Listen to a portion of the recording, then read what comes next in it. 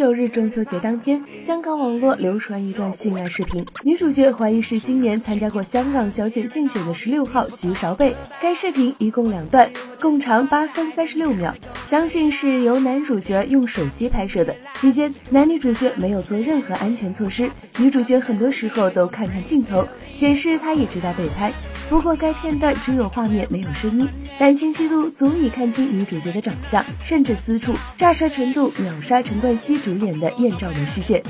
其实，在徐韶贝参选之时，就已经有小道消息举报，指她在十二三四时已不乏男友，曾在车站当模特，更指他试过燃有不良的习惯。当时徐韶被听到后表现激动，表示自己一共谈过五次恋爱，但不会乱搞关系。今年二十六岁的他被问到目前是否还是处女，他的回答是：谈恋爱不一定要有关系。